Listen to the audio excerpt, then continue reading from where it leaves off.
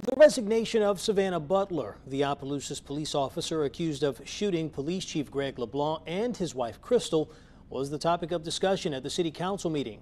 News 10's Jasmine Dean gives us a look at the council's decision on if Butler will be allowed to resign or if she'll be fired.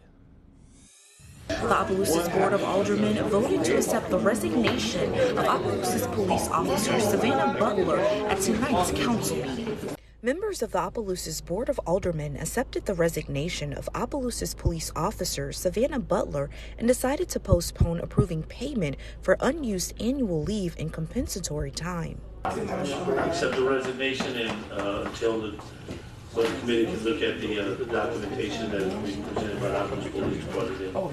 Prior to resigning, Butler was placed on paid administrative leave due to her involvement in the December shooting of the Opelousas police chief Graig LeBlanc and his wife Crystal LeBlanc.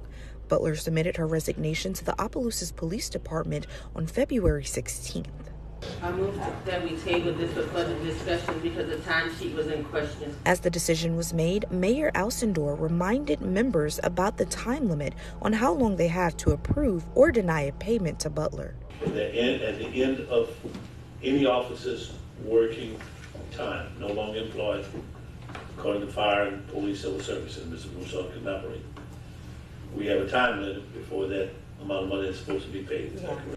In Opelousas, Jasmine Dean, KLFY News 10.